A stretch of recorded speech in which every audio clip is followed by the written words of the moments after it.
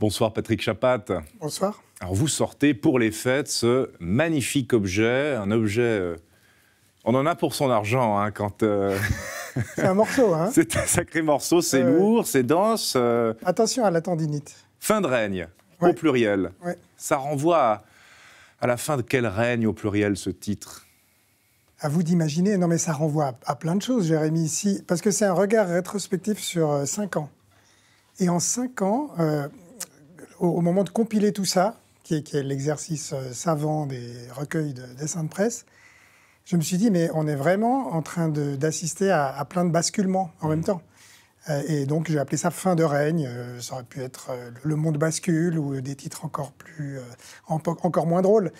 Fin de règne, ça collait bien à cette image de couverture de, de- de Macron sans ses porteurs, là, dans son carrosse, c'est sans porteur, mais dans sa chaise à porteur plutôt. Mais non, c'est la, bah, la fin du règne. Regardez autour de nous, quoi. La fin du règne de l'Occident, l'ordre mondial complètement bousculé.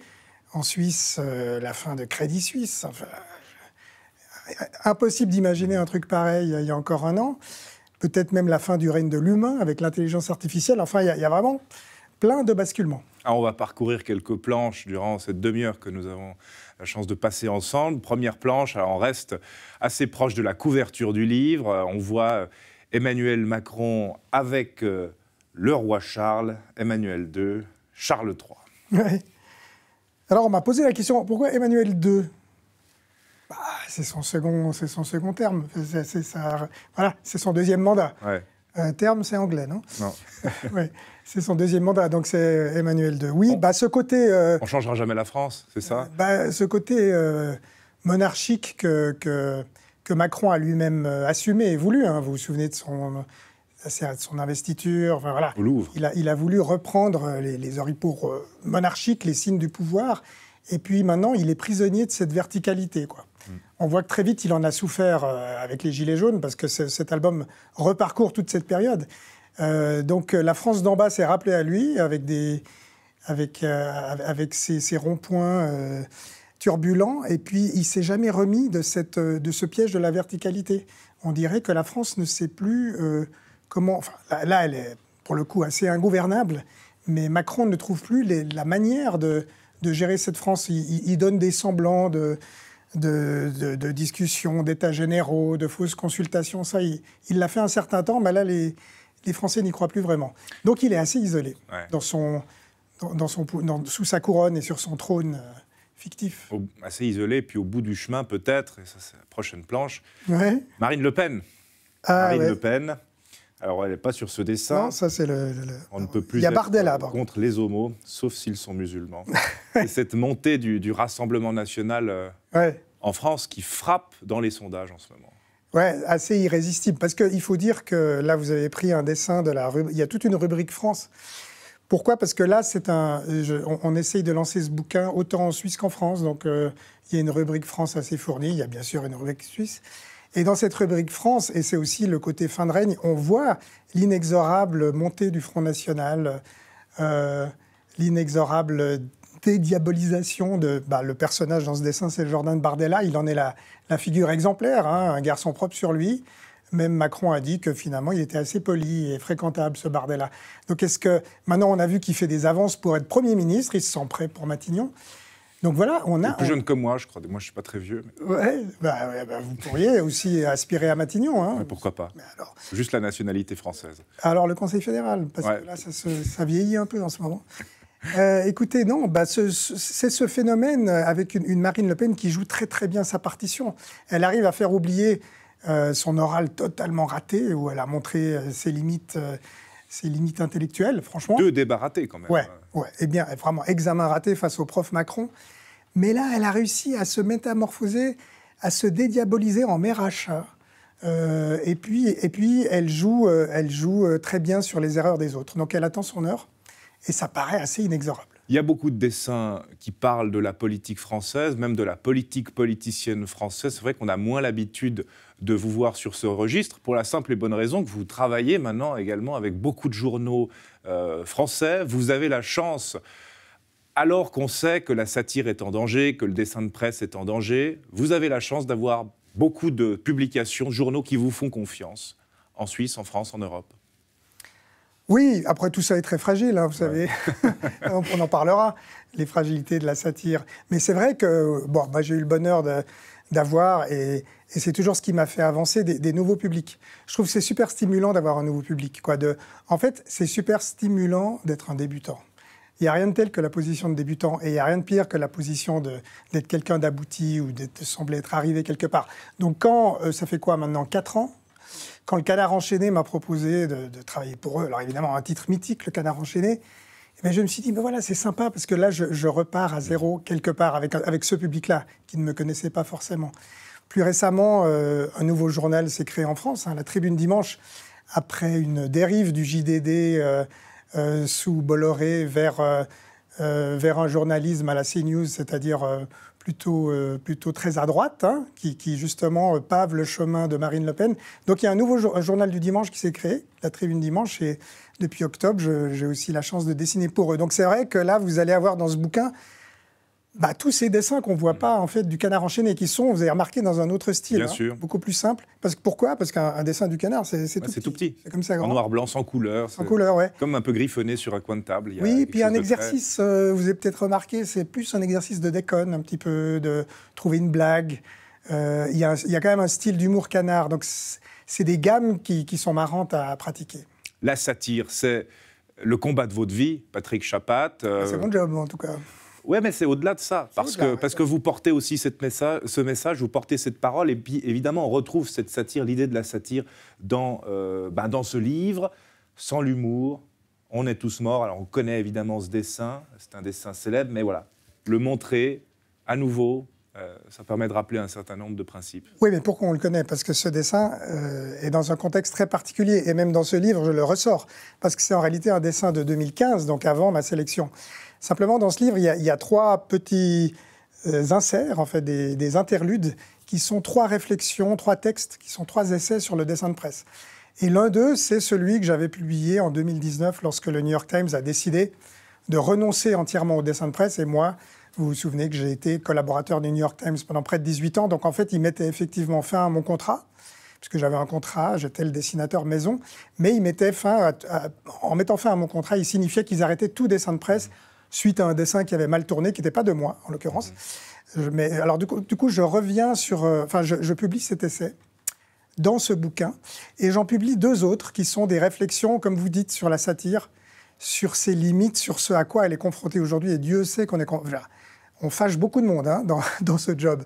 Donc, entre les, extrémistes surchauffés, entre les activistes euh, euh, offensés, entre, voilà, entre les gouvernements parce qu'il y a aussi le, cas d'un dessin qui a quasiment causé un scandale géopolitique entre l'Inde et l'Allemagne. Justement, ce dessin, bah, je l'ai gardé en, je l'ai gardé en stock. C'est d'ailleurs le, voilà, on le montre tout de suite, on en parle. Population, l'Inde dépasse la Chine. Ouais. Alors ça, le ah. tollé sur ce dessin. On en a peu entendu parler en Suisse de ce scandale. Mais vous, alors, vous l'avez euh, subi de plein fouet. On a peu entendu parler parce que j'en ai pas parlé. Euh, parce que j'ai vu, d'abord, j'ai subi, et, subir une tempête, mais en l'occurrence pas que numérique, parce que bon, ce dessin est paru dans Der Spiegel, magazine allemand, et il dessine, enfin il démontre de manière assez euh, bonhomme, moi je trouve, et plutôt sympathique cette nouvelle, c'est-à-dire euh, le fait que l'Inde, représentée sous ce taco joyeux et débordant d'énergie, dépasse ce tristounet TGV chinois. Alors, ça a commencé par un tweet d'un en fait, d'un membre du gouvernement, qui est conseiller du ministre de l'Information, qui a allumé la mèche sur Twitter en disant Et l'Allemagne, dessin outrageusement raciste, et puis il s'en est pris au Spiegel, à l'Allemagne, etc. Et c'est parti comme ça. Et, vous savez qu'il ne vous a pas échappé que le gouvernement Modi est un gouvernement nationaliste, et que donc, quand on allume la mèche, quand on excite la base, ça donne quelque chose d'assez impressionnant. Surtout l'Inde, qui n'est pas le plus petit pays en termes de population. Voilà, justement. Donc il y a eu un déferlement qui a duré deux semaines. En général, ça dure une semaine. Qui était d'abord sur les réseaux sociaux, mais ensuite tous les médias s'y sont mis, tous les médias indiens, les médias internationaux, The Guardian, The Independent, BBC, CNN.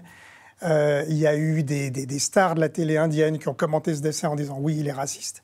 Et moi, je me suis pris euh, tout ça. Euh, il y a, l'ambassadeur allemand en Inde qui a été sommé de s'expliquer. Donc, vous savez quoi? Il a commencé par dire, vous savez, en Allemagne, on a la liberté d'expression. Puis après, il a dit, mais ce dessin euh, n'est pas approprié. Donc voilà. Euh, grosse pression. Et le Spiegel, alors, comment il a réagi, ce journal? Le Spiegel est, resté silencieux. Ils m'ont dit on va, on va pas réagir.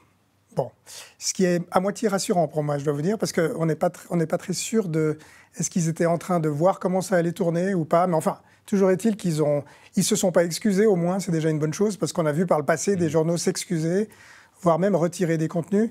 Bon, le Spiegel est resté un peu calme, mais euh, moi, euh, tout ça, ça a été spectaculaire. Ça a duré deux semaines je me suis vous savez que quand un journal allemand est pris à partie, euh, c'est le point Godwin immédiat. C'est-à-dire, on se fait traiter de nazi immédiatement, camp de concentration, enfin toute la panoplie du Troisième Reich y est passée.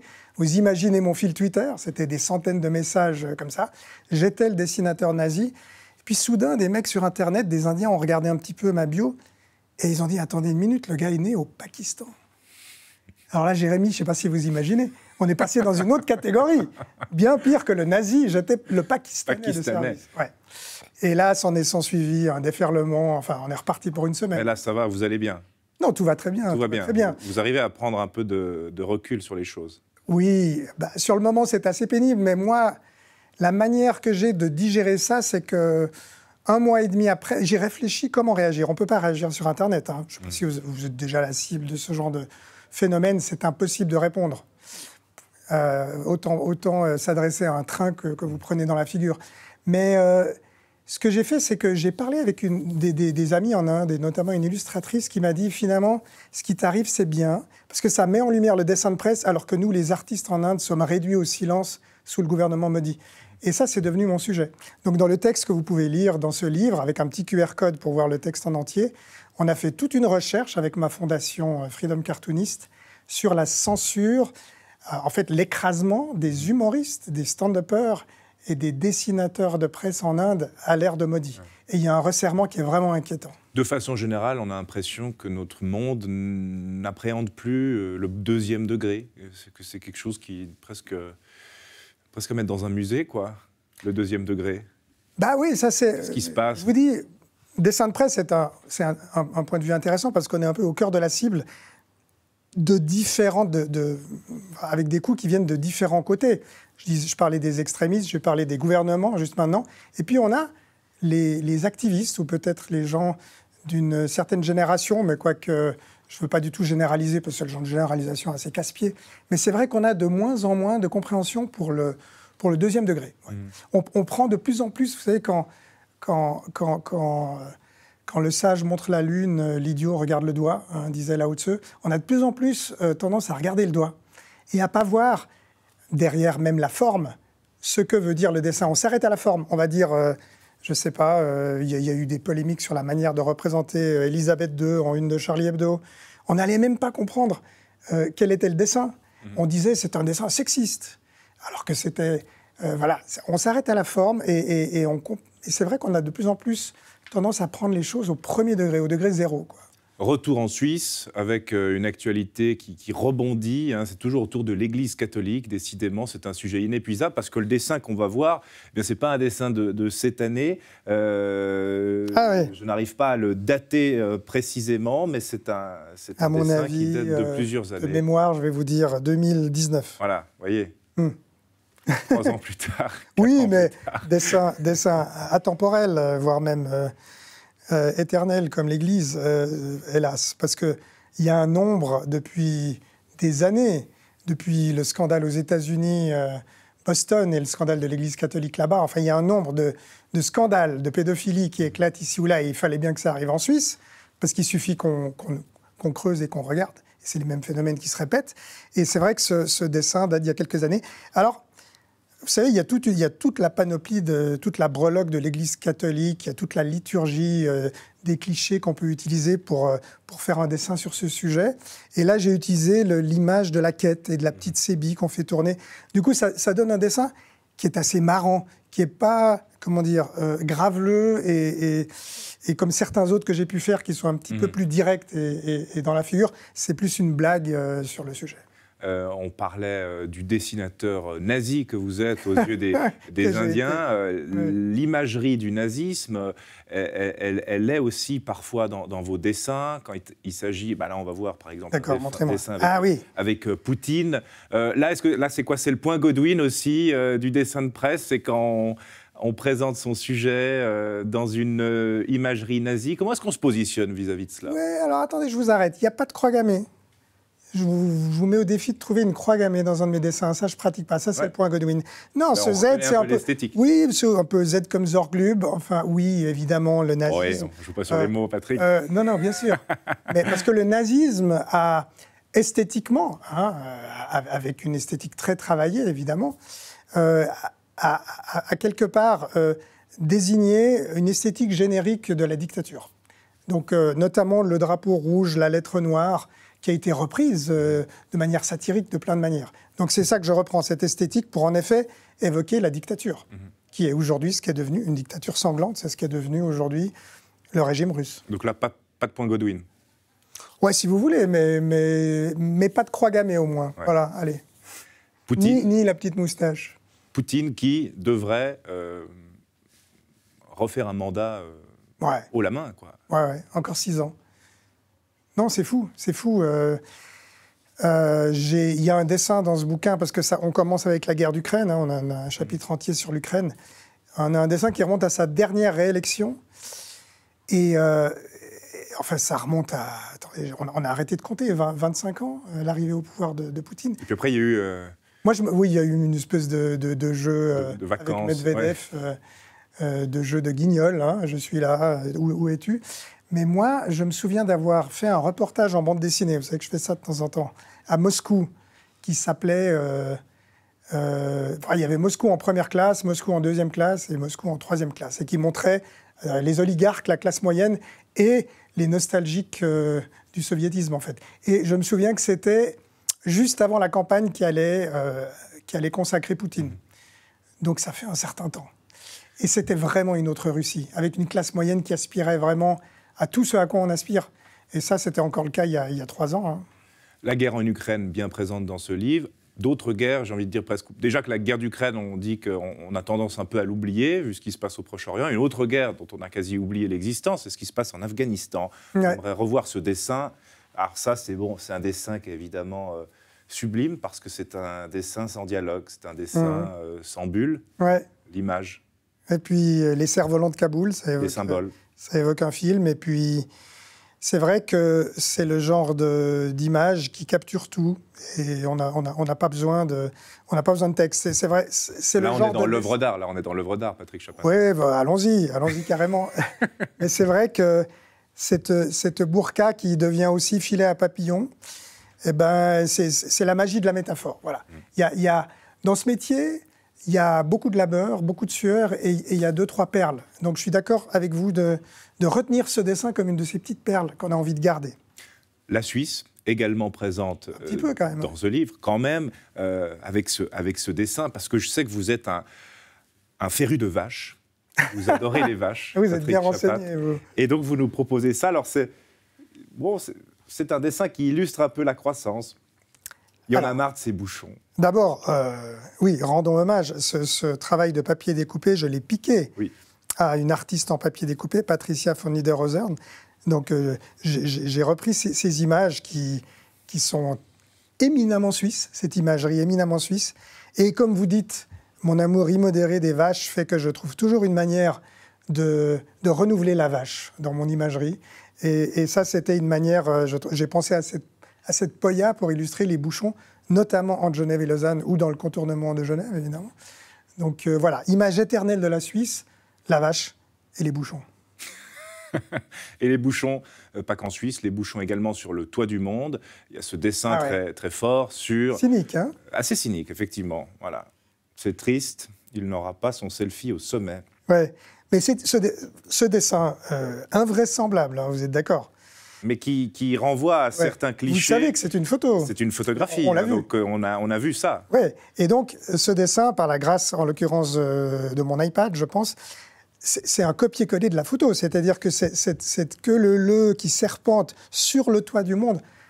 C'est hallucinant, on l'a vu cette image. C'est le fameux guide dont j'ai oublié le nom, là, qui, qui- a fait son, son expédition et qui a pris cette photo, qui s'est retourné à un nez, a pris ce cliché. Donc il fallait pas rajouter beaucoup au cynisme de la réalité pour, euh, pour trouver la chute de ce dessin, la chute euh, dans tous les sens du terme, excusez-moi, euh, ouais, de, ce, de ce personnage pétrifié euh, qui lui a échoué, le pauvre, de faire sa petite photo là-haut. Et, et- et ça, c'est un dessin. Bah, dans- dans- dans- J'aurais pu consacrer une rubrique, une rubrique entière à, à- à notre ego, notre ego numérique, à cette maladie qu'on a de de- d'être le centre de tout et de se prendre en photo. Et de... ouais, ça, ça me fascine. Le cynisme, le rapport aussi à l'écologie, euh, à travers cette planche-là, euh, dans ce grand euh, paquebot, mon mari et moi avons décidé de ne plus prendre l'avion Vous avez déjà fait ça, une croisière? Une seule fois. Racontez-nous. Disons que ça, ça restera une expérience À faire, peut-être. à ne plus refaire. Non? Ah ouais. Un reportage BD, je me verrais bien. Et je vis sous la menace de mes fils qui me disent un jour, tu n'auras pas le choix, tu vas recevoir une croisière en cadeau. Et je leur dis pas question, jamais de la vie. Mais c'est fascinant. Mais vous avez déjà fait une croisière? Non, jamais. Jamais? Non, jamais. Mais euh, non, c'est- assez fascinant comme. euh, et, et là, j'ai rien exagéré. Hein. Le- le- L'engin est même petit par rapport à ce qui sort Mm. aujourd'hui. Non, ce qui est assez fascinant, il y a tout un chapitre sur l'écologie où vous avez emprunté ce dessin. Et l'écologie, c'est un grand thème d'inspiration. Parce que c'est le thème où on est complètement pétri de contradictions. Euh, nous, euh, citoyens, avec nos, bonnes pensées, et nous, consommateurs. hein. nous, euh, tous écologistes dans l'âme, et nous qui partons en vacances avec EasyJet. Voilà. Ça fait... Et puis nous qui essayons de bien faire, de bien acheter, et puis après on se rend compte que la manière dont les produits sont faits, l'endroit où ils sont faits, met tout par terre.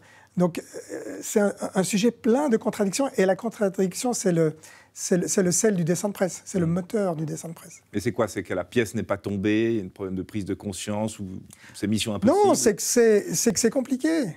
Parce que en croyant bien faire, parfois on fait mal. Mm. Et, et- et donc, euh, et puis on est, on est éminemment contradictoire. Euh, L'être humain l'est. Mm. Et, et- et là, là, c'est le psy manqué en moi qui, qui se régale de ça.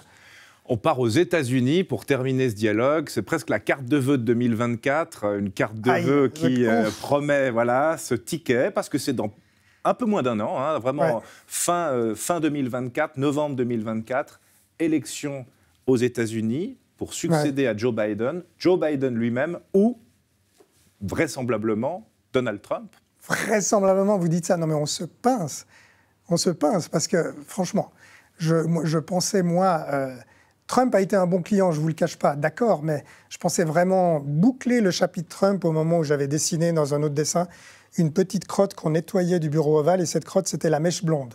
Cette crotte devait disparaître dans les poubelles de l'histoire. Et là, euh, ce dessin le résume. On va se retrouver avec ce face-à-face entre ce type qui aurait pu et devrait se retrouver en prison, avoir encouragé la prise d'assaut du Parlement américain. Je veux dire, on l'a tous vu, on l'a pas rêvé. Et puis, et puis ce, ce Biden qui, quand même, Était quand même pas censé déçoit se terriblement. représenter. Ouais, déçoit terriblement. Alors, est-ce que c'est euh, les, les- les- les vapeurs enivrantes du pouvoir, même à son âge? Qu'est-ce qui fait que qu'un Biden qui a été, franchement, qui nous a sauvé la mise, qui a sauvé les démocraties du monde en se présentant face à Trump et qui l'a emporté, et qui a dit je serai un président de passage, Mhm. qu'est-ce qui fait qu'il s'est accroché? Mystère. L'échec peut-être de sa colistière, Kamala Harris, qui, qui n'a pas réussi Qui a pas à, ouais, mais à décoller. est-ce qu'il l'a aidé Hmm. Et on n'a pas l'impression qu'il l'a beaucoup aidé. C'est l'ivresse du pouvoir, ça. C'est ça. Et c'est les vieux qui s'accrochent, Ouais. Les vieux comme qui- dans le dessin de presse. Que Mais bon, bah, on verra, hein, parce que l'année est encore longue, euh, Ouais. pleine de rebondissements. euh, mais euh, À suivre. c'est ce qui se dessine. Bah, Enfin, euh, écoutez, euh, quand même. euh, c'est un peu, c'est quand même un peu anticipé et un peu, un peu pessimiste, mais, mais c'est une perspective de plus en plus réaliste. Mais on- je vous propose qu'on suive ça ensemble. Avec grand plaisir. Patrick Chapat en spectacle aussi. Oui, Il faut quand même en parler, Non, parce que ça commence le 23 janvier à Lausanne, puis ensuite au Locle, Yverdon, et enfin Genève, 27-28 mars, c'est au Casino Théâtre. Patrick Chapat en spectacle, qu'est-ce que ça donne? Étonnant, hein? Ouais. Ouais, mais il faudra venir voir. La billetterie est ouverte. Écoutez, Il y aura euh, des dessins. Il y aura des dessins, ça je vous le cache pas et vous n'êtes pas surpris. Mais il y aura plus que ça. En fait, je vous invite à entrer dans la tête d'un dessinateur de presse et à voir ce qui s'y passe, à voir comment, euh, comment se coagulent les idées sur une page blanche. Et, au-delà de ça, euh, d'avoir, mais sous forme d'un spectacle. L'enjeu, c'était de transposer bien des choses dont nous avons parlé ou que j'ai écrites, ou euh, des thèmes et des, thèmes qui me sont chers et que je porte, à savoir l'humour aujourd'hui, les questions qui fâchent, euh, l'histoire de la satire, quand même juste rappeler que le dessin de presse est né avec la liberté de la presse et que c'est quand même un bien précieux et qu'il faut qu'on fasse attention de ne pas jeter le bébé avec l'eau du bain. Vous parliez avant de la difficulté à avoir un deuxième degré aujourd'hui, à accepter euh, l'offense, etc. Donc je parle de tout ça. Il y a aussi du dessin en live. Euh, et tout ça est fait sous une forme euh, qui, je l'espère, va vous faire rire et réfléchir. Voilà. C'est une prise de risque pour vous Vous êtes un peu là, ah oui, bien sûr. devant un, un horizon Ah, c'est clair que monter sur les planches, c'est un tout petit peu euh, l'exacte antinomie du dessin de presse, qui mm. est d'être isolé dans son coin, dans son bureau, et de voir personne. Là, je vais passer de ce dispositif à des salles avec du monde, et, de voir se projeter, hein, de voir mettre ses... sur la table, vous voyez de quoi je veux parler. C'est, bah, un... on m'a chuchoté cette idée plusieurs fois. À la longue, je me suis dit, bon, qu'est-ce qu'ils me veulent? Il faut dire que j'avais fait un petit peu, j'ai fait des conférences, j'avais fait un petit peu un spectacle avec... Euh, avec, euh, avec Melchior, euh, Fabrice Melchior et Polar. Euh, C'était un spectacle privé, mais avec beaucoup de spectateurs. Et puis voilà, on a, on a, aussi discuté avec Pollard d'idées de, de, scènes qui peut-être verront le jour de spectacles à plusieurs cette fois-ci. Mais ça, c'est un seul en scène. Alors je vous dis merde, Patrick Chapat, pour, pour l'année prochaine. Merci. Bonne année 2024 à vous. Et je rappelle pour voilà, tous ceux qui ont encore des euh, cadeaux de Noël à faire, euh, des manques d'inspiration. Ben voilà, ça c'est une idée, c'est un bel objet. En plus, c'est, je peux vous aider à le porter, ça ouais, c'est très lourd. Hein. Merci Patrick C'est une somme, c'est une somme. Merci, à, vous. Bon Noël.